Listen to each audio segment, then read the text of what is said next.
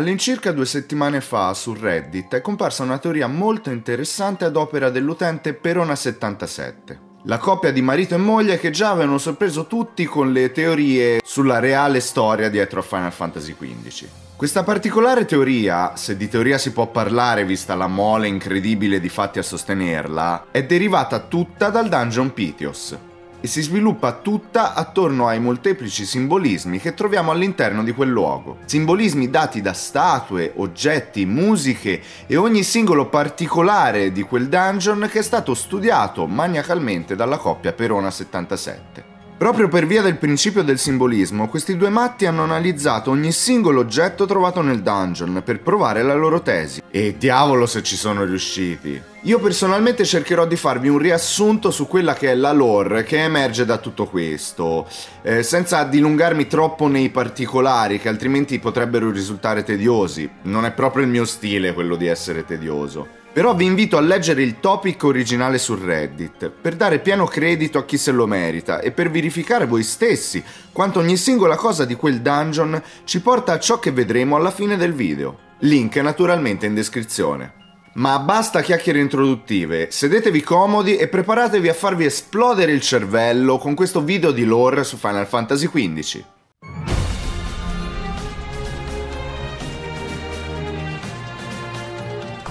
Anzitutto vediamo di capire cosa è Pythios. Questo dungeon è un'antica rovina della civiltà di Solheim, esattamente come altri dungeon che troviamo a Lucis, come ad esempio la tremenda Kostlemark. Ma c'è un ma. Solo la prima parte di Pythios è in effetti costruita da Solheim. Infatti, proseguendo nel dungeon, sia l'architettura che i materiali muteranno drasticamente, lasciando spazio al caos più totale. E c'è un motivo. Pythios infatti è stata abbandonata e in seguito qualcuno ha scelto questo preciso luogo per costruire quella che a tutti gli effetti è la rappresentazione del suo viaggio, della sua storia. E questo qualcuno, signore e signori, è Ifrit. Quindi sì, Pythios narra la storia di Ifrit e di come abbia cercato di salvare Ios, la dea dell'aurora, addentrandosi nell'Underworld, la terra dei morti, gli inferi, per liberarla dalla sua prigionia, diventando così il traditore, almeno agli occhi delle altre divinità. Pythios, lo ripeto, è solo la rappresentazione di questa tragedia, in pieno stile greco. Del resto Final Fantasy XV ha fortissime ispirazioni dall'antica Grecia. Gli eventi narrati qui quindi si svolgono altrove, nell'Underworld appunto, ma vedremo anche questo più avanti. Cominciamo dal principio. Entrando nel dungeon noteremo due statue, una a sinistra rappresentante Titan, che blocca un portone con una mano e sorregge un pilastro con l'altra, il portone è l'ingresso dell'Underworld, mentre il pilastro rappresenta il mondo. A destra, invece, imprigionato e assorto nei suoi pensieri, c'è Ifrit. Capiamo perfettamente che è lui perché il suo aspetto ci ricorda tantissimo l'Ifrit di Final Fantasy Tactics e i molti gioielli che ornano il suo corpo sono gli stessi che ha Ifrit nello scontro finale alla cittadella. Gioielli ornamentali inoltre che hanno da sempre a livello di mitologia ornato il corpo di questa divinità. La gabbia è probabilmente una metafora del fatto che Ifrit è imprigionato, bloccato nei suoi pensieri, per capire come passare. Ma poi lo capisce. Mentre proseguiamo infatti nel dungeon sbloccheremo una sfera, una meteora se vogliamo, che libera Ifrit. Forse è l'idea stessa della meteora a liberarlo da quello stato. Per cui questa prima sfera è puramente una metafora. Passiamo poi sulle sue spalle, come a dargli il testimone, e da qui infatti sarà il suo punto di vista quello che vivremo. Un'altra meteora che questa volta colpisce in pieno Titan. Nella realtà il gigante era in effetti bloccato da una meteora al centro di Duskae, che gli impediva qualsiasi movimento, come ad esempio bloccare Ifrit dall'entrare nell'Underworld. Infine un'altra meteora apre il passaggio per l'Underworld e nella realtà questa seconda meteora è all'Estallum, quindi l'ingresso, il varco per l'Underworld, si trova proprio lì ed ecco spiegato il perché nella centrale elettrica di Lestallum fuoriescano sempre dei demon. Non perché la piaga delle stelle viene dal meteorite, ma perché filtrano dal passaggio sottostante.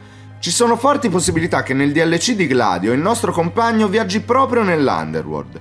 Lo vediamo con Cor all'interno del crepaccio di Telpar. È infatti probabile che quando Ifrit esce dall'Underworld lo faccia proprio in quel crepaccio. Quindi Gladio potrebbe percorrere i passi di Ifrit al contrario. Infatti dov'è che rincontriamo Gladio nel gioco? proprio alla centrale di Lestallum, sopra il meteorite che apre il varco verso l'Underworld. Interessante, non vi pare? Ma andiamo avanti. Adesso entrando dal portone la musica cambia e diventa quella dei dungeon. Come a dire che adesso siamo entrati in Pitios. Se infatti prima l'architettura era tipica di Solheim, come vi dicevo prima adesso siamo circondati da strutture molto strane mai viste prima.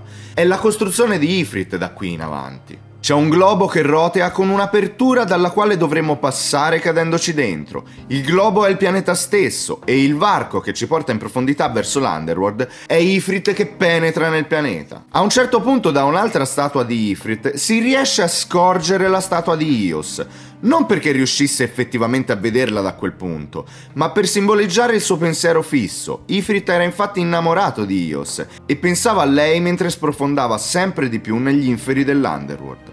Considerate che l'Underworld è pieno di demon, è da qui che vengono. E gli oggetti curativi e protettivi che troviamo lungo il percorso rappresentano magie curative e protettive che Ifrit casta su se stesso durante il suo viaggio, mentre combatte appunto contro di loro, qui rappresentati con quelle state circondate da quell'alone di energia rossa, lo stesso che compare attorno ai demon quando fuoriescono in superficie. Più avanti troveremo Ifrit a riflettere davanti alle porte dell'Underworld. È in profondità nel pianeta, ma non è ancora entrato realmente nel mondo dei morti.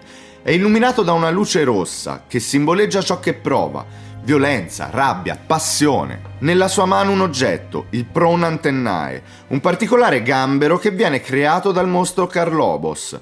In Final Fantasy V Carlobos è a guardia di un grande fiume. Una volta sconfitto nel quinto capitolo di questa saga, gli eroi riuscivano a passare il fiume tra mille difficoltà con una barca. Tutto questo simboleggia che Ifrit ha dovuto lottare contro questo mostro. E vittorioso, l'oggetto nella sua mano ce lo fa capire, è riuscito a oltrepassare uno dei fiumi dell'Underworld. Pensate un po' all'Underworld come all'inferno dantesco fiumi, porte e una discesa sempre più ripida negli abissi del caos. Ciò che affrontiamo in seguito infatti è molto caotico e rappresenta le difficoltà nell'attraversare questo fiume, esattamente le stesse difficoltà che avevano incontrato gli eroi del quinto capitolo di Final Fantasy.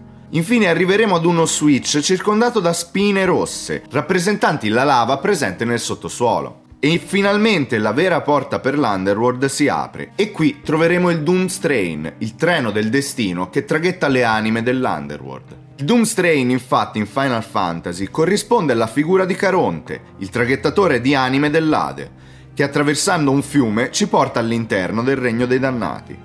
Interessante che troviamo delle monete antiche in questa stanza e come sappiamo le monete erano l'obolo da pagare per il passaggio di Caronte. Una volta oltrepassata questa stanza, siamo ufficialmente nel regno dei morti, il punto di non ritorno. Infatti da qui ci sarà impossibile tornare indietro e perfino Noctis nota questa cosa, dicendo "Oh no, devo tornare indietro, devo tornare indietro". Qui tempo e spazio non esistono, è puro caos. Un'architettura che la gente di Solheim non avrebbe assolutamente potuto costruire. Questo posto è totalmente permeato di magia, è quindi palesemente opera di Ifrit.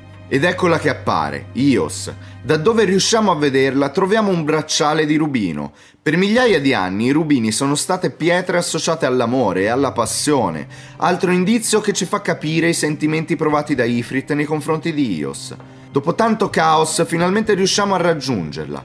Ed eccola, davanti a noi finalmente, Ios, la dea dell'aurora. Ifrit è riuscito a raggiungerla. Man mano che ci avviciniamo a lei, l'intera stanza inizia a roteare. Questo simboleggia i sentimenti contrastanti e la disperazione di Ifrit nell'avvicinarsi a Dios, perché in lei c'è qualcosa che non va, qualcosa che Ifrit non si aspettava. È giunto fin qui per salvarla, ma l'ha trovata in catene e non sembra più essere lei. Ragazzi, da qui in avanti cacciate fuori la confezione di Kleenex perché la storia di questo amore diventa davvero, davvero triste. Una volta raggiunta la statua, saltiamo sul suo petto a simboleggiare l'abbraccio di Ifrit. La caduta all'indietro molto lenta a simboleggiare che la libera dalle sue catene, appoggiandola dolcemente a terra. A questo punto, se scendiamo verso il suo ventre, troveremo l'oggetto più importante del dungeon a livello di simbologia: i guanti Genji. Genji significa due inizi e considerate che troviamo i due inizi sul suo ventre. Ios era incinta di due gemelli. Ed ecco perché è stata imprigionata dagli altri dei. Forse si era innamorata di un umano ed era rimasta incinta. Si sa, per le divinità è un tabù mischiarsi col sudiciume indegno degli umani. E considerate che nella mitologia la dea Ios ha proprio due figli con un umano. E non tutte le divinità simpatizzano per la nostra razza, del resto. Si sa, il simpatico discorso di Leviathan ad Altissian è un chiaro esempio. E i figli di Ios? Nati forse proprio nell'oscurità di Pitios, lo yin e lo yang, la luce e l'ombra. Ci sono varie teorie su chi potessero essere, ma pensandoci bene viene logico pensare che siano coloro che hanno dato il via, uno alla dinastia dei Lucis e l'altro a quella dei Nox, che tradotto letteralmente è luce e tenebre. I Nox Flore vivono a tenebre i Lucis Celum vivono a Lucis, appunto. Niente ragazzi, io non riesco neanche a chiamarla teoria da quanto è palese.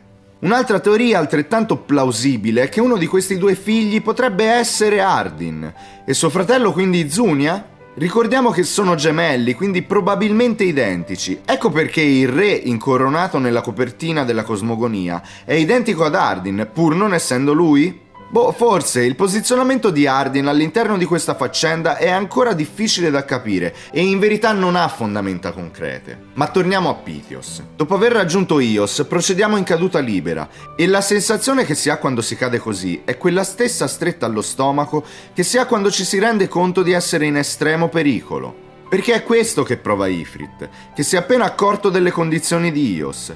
Ios, la dea dell'aurora, la luce, è stata imprigionata negli abissi dell'Underworld, nell'oscurità più pura, perché la luce la blocchi con l'oscurità. Il sadismo beffardo degli dei aveva colpito ancora. Ma ciò che non avevano previsto è il cosa sarebbe scaturito dal sopprimere la luce con l'oscurità.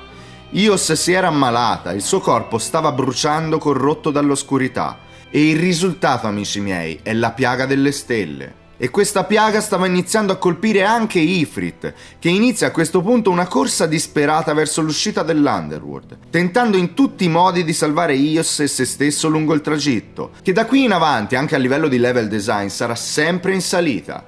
E pieno di oggetti curativi a simboleggiare la lotta disperata per la sopravvivenza dei due. C'è addirittura un oggetto che protegge contro il fuoco, ma quale fuoco potrebbe danneggiare l'infernale Ifrit? La piaga delle stelle, appunto che corrode e brucia anche oltre la fiamma più ardente. Perfino nell'artwork Big Bang di Amano notiamo che Ifrit, mentre porta in braccio Ios verso l'alto, verso la salvezza, è completamente bruciato. E nella cieca oscurità e nella disperazione più totale prosegue la nostra ascesa verso la superficie. È buio ragazzi e non ci sono altro che strade senza uscita davanti a noi i muri impregnati di quel viscido liquido nero che altro non è che la piaga delle stelle, che ormai sta permeando il luogo, contaminando tutto con l'oscurità. La situazione si fa sempre più disperata man mano che si sale. Troviamo una clessidra d'oro a simboleggiare che non c'è più tempo. Ios sta morendo. Di nuovo dal punto di vista di Ifrit vediamo uno spiraglio di luce, un passaggio. Finalmente riusciamo a salire verso l'uscita, forse. Il crepaccio di Telpar originariamente non era un crepaccio, nel gioco lo dice chiaramente che è stata opera di Ifrit. Prima infatti era una caverna, il tunnel che percorriamo, lo spiraglio di luce in fondo ad esso, l'uscita.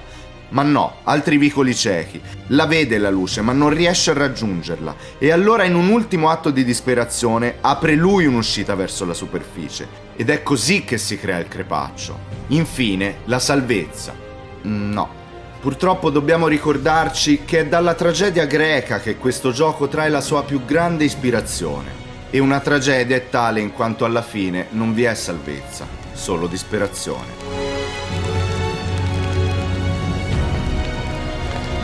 Storia. Ciao ragazzi, la prima parte di questo video finisce qui.